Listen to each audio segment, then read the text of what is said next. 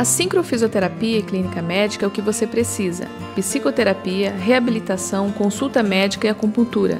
Venha para a Syncron. Agende seu horário pelo fone 3672 2278.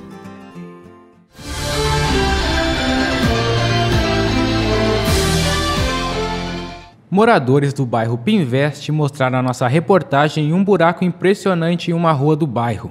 Em comparação, um capacete usado por nossa reportagem coube no buraco.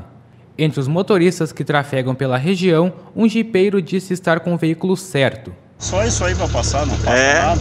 Mas por um lado é bom que a prefeitura não fiscaliza nada, não bota quebra-mola para nós. Isso aí serve como quebra-mola. É, já serve como quebra-mola, né? Vai levar para eles dar uma olhada nisso Vou, aí? vou levar lá.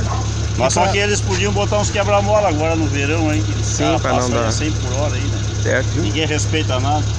Aqui para andar só com esse carro aqui, ó. É, não. Se for carro normal... Mostra o pneu para ele aí, que esse pneu é que passa aqui na Pinveste. É o único que passa na Pinveste é esses pneus aí, ó. O resto detona tudo, né? Com as recentes chuvas e por problemas mecânicos em uma patrola da prefeitura, o serviço de nivelamento das ruas do bairro não estava ocorrendo mas em conversa recente com o prefeito municipal, o mesmo afirmou que a patrola deverá passar pelo local ainda na manhã desse sábado.